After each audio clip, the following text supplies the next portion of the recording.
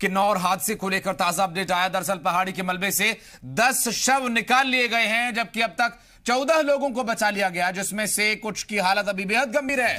वहीं मलबे में करीब 40 और लोगों के फंसे होने की आशंका है। हादसे को लेकर मुख्यमंत्री जयराम ठाकुर ने 50 से 60 लोगों के दबे होने की आशंका जताई। साथ ही मुख्यमंत्री ने कहा कि राहत और बचाव कार्य पर लगातार वे नज़र बनाए हुए हैं। हिमाचल प्रदेश के किन्नौर ज़िले के निगुलसेरी नेशनल हाईवे पाँच पर यह हादसा उस वक्त हुआ जब पहाड़ी का एक बड़ा हिस्सा चट्टानों के साथ दरक कर सड़क पर आ गया और इस दौरान हादसे में एचआरटीसी की बस भी पहाड़ी के इस मलबे की चपेट में आ गई और साथ ही कई छोटे वाहनों को भी अपनी चपेट में ले लिया। आपको बता दें कि मौके पर एनडीआरएफ, आईटीबीपी और पुलिस के जवान लगातार राहत और बचाव कार्य को अंजाम देने में जुटे हुए हैं। काफ़ी मशक्कत वहाँ पर जारी है। हम अभी जो दुर्घटना स्थल है, जहाँ पर लैंडस्लाइड हुआ है, चौरा और मिडुसरी के बीच में जो किन्नौर का क्षेत्र आता है, वहाँ पे हमारे साथ नेशनल हाईवे पे अधिशासी अभियंता है।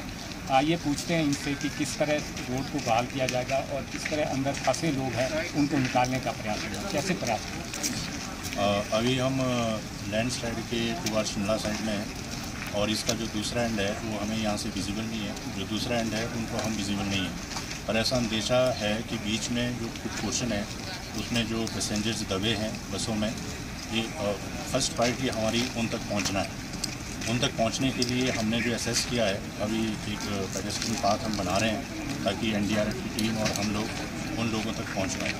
और उसके साथ ही अ, हमने दोनों एंड से टुवार्ड्स किन्नौर साइड और टुवार्ड्स शिमला साइड दोनों एंड से मशीनरी पर्याप्त मशीनरी का बंदोबस्त कर दिया है। इस साइड से एक डोज़र एक एलएनटी और एक जी ऑन द मूव है, वो रास्ते में पहुँचने वाले हैं। और उन साइड से एक लोडर और एक डोज़र वो पहुँच गए स्पॉट पर।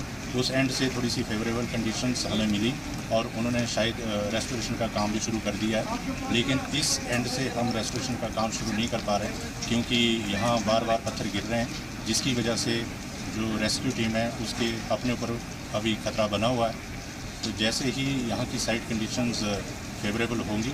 इस एंड से भी हम रेस्टोरेशन का काम शुरू करें फ़िलहाल हम बीच में जो पेडेस्ट्रियंस फंसे हैं, जो सवारियाँ फंसी हैं, उन तक पहुँचने के लिए रास्ता बनाने की कोशिश करेंगे तो ये आज करीब बारह बजे ये जो घटना हुई है, इसमें एक बस और एक बड़ी गाड़ी है और एक, दो छोटी गाड़ियों के होने की संभावना है और अब लोक निर्माण नेशनल हाईवे की ओर से प्रयास किए जा रहे हैं कि इस रास्ते को किसी तरह से पैदल चलने लायक बनाया जाए और उसके बाद जो है अगला कदम उठाया जाए ताकि जो है ये पता लगाया जाए कि वहाँ पे अभी कोई लोग तो नहीं फंसे हैं जिनको रेस्क्यू की ज़रूरत है। विशेषज्ञ जी न्यूज़ निगुलसरी और केंद्रीय मंत्री अनुराग ठाकुर ने ट्वीट करते हुए लिखा, देवभूमि हिमाचल के किन्नौर में भूस्खलन से हुई दुर्घटना के बारे में सुनकर मन व्यथित है। मैंने मुख्यमंत्री जयराम ठाकुर से बात करके मौजूदा स्थिति पर चर्चा की। स्थानीय प्रशासन, प्रदेश सरकार और केंद्रीय टीम तत्परता से राहत और बचाव कार्य में लगे हैं। दूसरा ट्वीट करते हुए लिखा, मलबे में दबे लोगों को सुरक्षित निकालने के हर संभव प्रयास किए जा रहे हैं। मैं घायलों के शीघ्र स्वास्थ्य होने की कामना करता हूँ और इस दुर्घटना में जान गंवाने वालों के प्रति मेरी गहरी संवेदनाएँ। प्रभु शोकाकुल परिवार को संबल और दिवंगत आत्माओं को अपने श्री शरणों में स्थान दे।